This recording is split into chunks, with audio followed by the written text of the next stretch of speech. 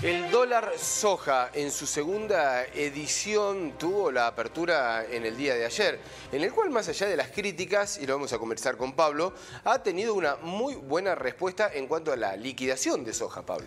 Sí, porque como ocurrió con la primera etapa, y lo habíamos señalado ayer, ¿no?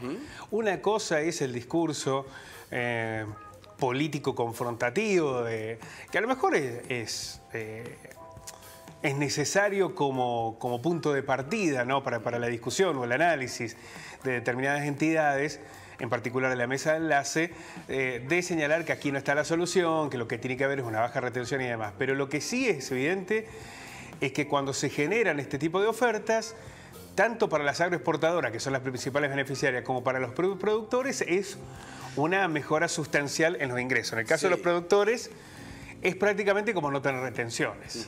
Lo que hablan aquí un gran acuerdo y un gran beneficio para el sector exportador.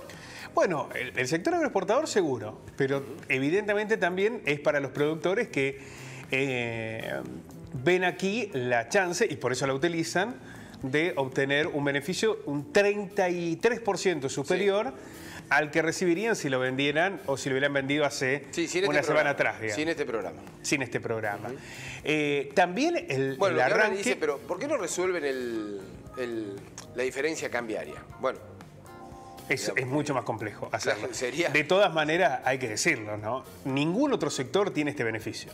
No, claro. Ningún otro sector lo tiene, ¿no? Eh, eh, está bien que hay una parte de una necesidad del gobierno de tener dólares, reserva y demás, pero ningún otro sector recibe este beneficio, ¿no? Y eh, es un beneficio que genera, digo, en particular en el caso de, las agroexportadoras. Bueno, pero ahí, voy, Pablo. La, la vacatada, ¿no? Claro, vos decís, digamos. Es cierto, hay una necesidad del gobierno y partamos desde ahí, que por algo lo empieza a pensar y hacer. Ahora, se está beneficiando a un sector agroexportador que es muy pequeño y que en realidad lo que menos necesita es una ayuda económica por parte del gobierno. Bueno, por eso la, la oportunidad que tenía el gobierno era la de intervenir en este esquema y tratar de ser un actor importante. Bueno, aquella oportunidad que se dilapidó con, con, Vicentín, lo que podría suceder después cuando eh, hubo proyectos para consolidar lo que se denominaba IPF Agro, que era darle un lugar más preponderante al Estado Nacional o, al, o, desde una mirada más nacional. La, intervención en el mercado de granos.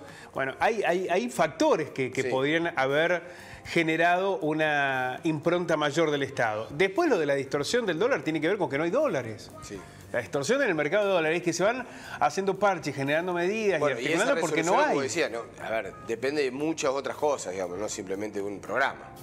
No, no, está claro, depende de los niveles de endeudamiento que tiene la Argentina. Estabilizar la economía argentina, ni más ni menos. Claro, estabilizar, bajar los niveles de endeudamiento, recuperar determinados sectores productivos que pueden generar dólares, eh, evitar que los dólares se fuguen o se vayan a mecanismos especuladores de, empresas, como pasó por ejemplo con el tema de, las importaciones o cuando se utilizaban dólares oficiales para pagar eh, deuda eh, privada de las empresas. Bueno, hay tantos elementos que se ponen en juego, ¿no?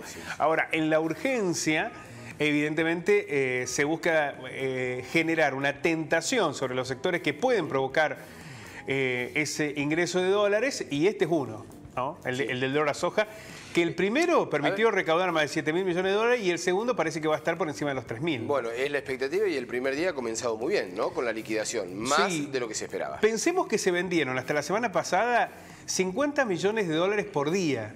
Y ayer eh, llegó a los casi 300 millones de dólares, ¿no? Esto termina de revelar que evidentemente resulta beneficioso para determinados sectores poder utilizar este dólar soja. Pero vamos a verlo en detalle. Buen arranque del dólar soja 2. En el primer día, agroexportadores liquidaron 292 eh, millones de dólares. La apuesta es que se supere el compromiso inicial de ingresar 3 mil millones de dólares, que era un poco lo que habían acordado el gobierno con las agroexportadoras. Eh, exactamente, este es el momento en donde el gobierno está haciendo cuentas y que se podría llegar ¿no? con este arranque justamente a ese número que se ha puesto el gobierno como, bueno, un plan que comprende ni más ni menos un éxito para engrosar las reservas. Con los 292 millones de dólares, las ventas quintuplicaron el promedio diario de noviembre que rondaba en 50 millones. La soja disponible alcanzó en el mercado de Rosario el valor con, eh, de más de 85 mil pesos la tonelada, cuando eh, cotizaba 70 mil, ¿no? Ahí este, los productores de manera directa también tienen eh, un beneficio, ¿no? Claro, porque este es el crecimiento. Este el crecimiento de precios que había tenido, el salto.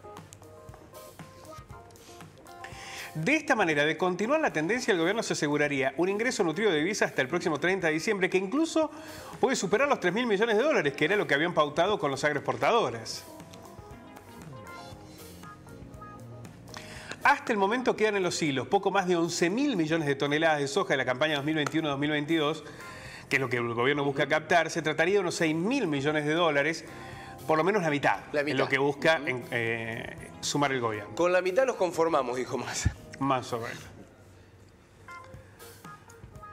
La siembra de soja continúa con, un muy marcado retraso en la zona de agrícola núcleo.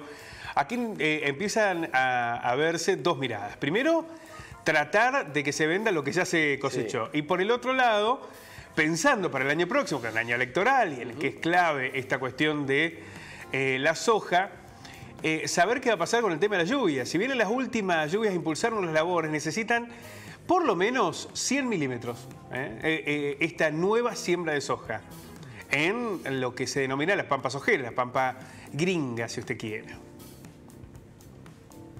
En la principal zona productora del país, que comprende el norte de Buenos Aires, el centro-sur de Santa Fe y el sudeste de Córdoba, se sembraron durante la última semana 1.200.000 hectáreas. Se llevó a cubrir el 75% de la superficie estipulada para el cultivo en la región según la Bolsa de Comercio de Rosario. Pero aquí resulta clave, fundamental, que empiece a llover, que caigan por lo menos 100 milímetros.